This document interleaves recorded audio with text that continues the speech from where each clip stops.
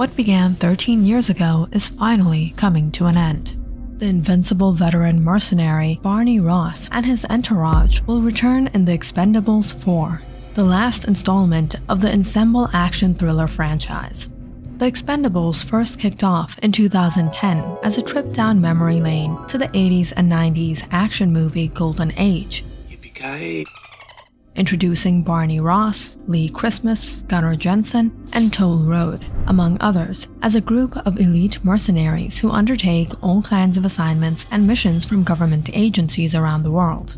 Each of the first three installments in the series features a new mission, carried out by a different set of mercenaries, but all read by Ross, Christmas, Gunnar, and Road. But this time, Lee Christmas is set to be the focus. 50 Cent, Megan Fox, and Tony Jaa will join the cast as well.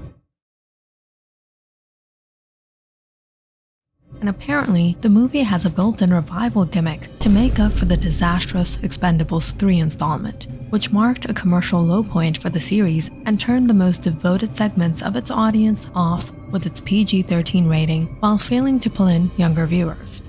Stallone himself has called the rating a horrible miscalculation so it's doubtful that the Expendables 4 will be rated anything but R.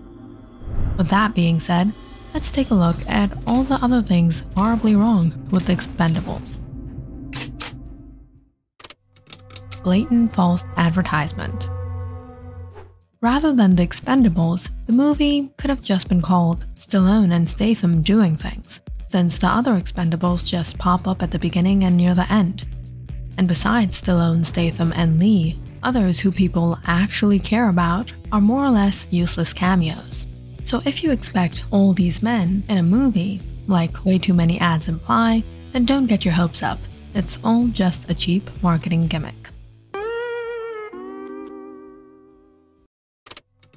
The movie is not sure about what it is, and the plot really doesn't matter the Expendables is definitely modeled after those great 80s movies, but it can't decide if it is a tribute to those movies or if it's a movie of today, with an intention as if it were planned and produced back then.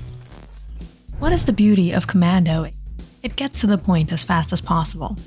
5 minutes is dedicated to show the bad guys, 6 minutes to show Schwarzenegger, 12 minutes into the movie and he gets attacked. Say the line, Bart! I'll be right back. Yay! 17 minutes and we know the plot. They have his daughter and he needs to work for them.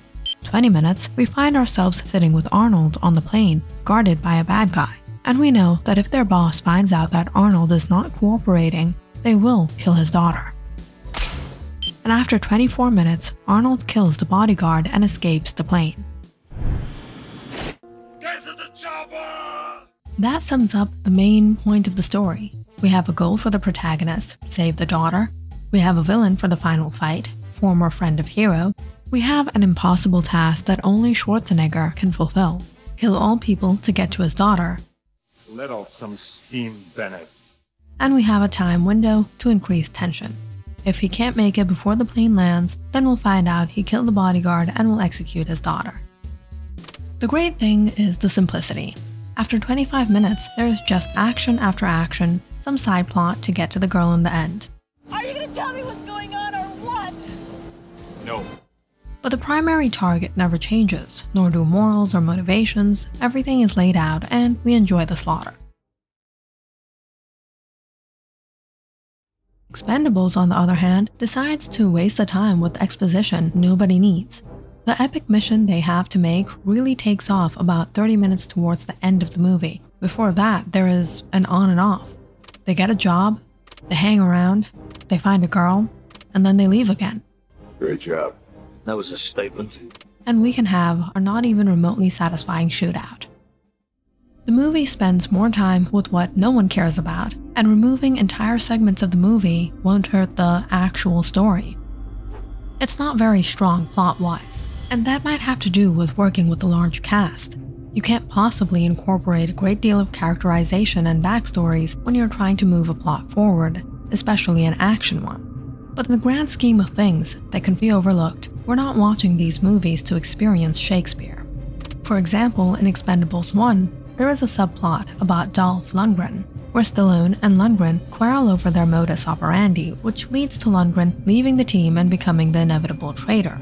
But instead of making good use of that fact, the traitor storyline is not affecting the main story at all and is killed off before the final mission starts. And then they brought him back, somehow? But the worst offender is Statham's story about his ex or not girlfriend, which is more or less pointless. Stereotypes When it comes to action movies, stereotypes are the best thing you can fall back to get the story going as fast as possible. Since we have seen how well drama works for a movie like The Expendables, you can just use stereotypes to get the same job done in half the time. They are easily understandable and get the point across. Let a guy in a suit smoke a cigar? He's greedy and evil. Have someone betray a friend? He's definitely evil. Kill the wife of the hero? Motivation. I'll be back. You've been back enough. I'll be back. Again, Commando is a good example of fast stereotypes because the movie is aware that it's just a fun ride. We have a traitor, which gets our hatred pumped up, so that we root for Arnold and we have his daughter. Now I have a machine gun. Ho, ho, ho. Saving your abducted daughter from criminals needs no justification. Everyone understands why the hero would do it, and it saves us from a terrible monologue by Rourke. The Expendables 3 is easily the weak link in the series chain. After flip flopping on a decision to maintain a R rating or lightening the rating to a PG 13, producers whiffed badly. Violence was reduced, more jokes were peppered in, and the overall tone of the film was more lighthearted compared to the first two. Not what you should be going for when you feature this much action movie talent. While the movie did manage to squeeze in a few more legends, some casting choices left the core audience scratching their collective heads.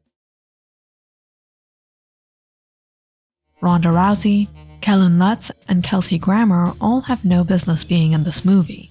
And this time, all we know by the trailer is we'll be seeing 50 Cent, Megan Fox, and Tony Jaa. While fans of the series are surely eager to see it finally return, there's the fact that it'll be coming off the disappointing performance of The Expendables 3. The movie looks set to deliver a thrilling cinematic experience. But then again, Expendables 4 might turn out to be a Christmas movie, and then there are the rumors that it might even be a female-led spin-off. What do you think? Comment down in the section below and don't forget to like and subscribe.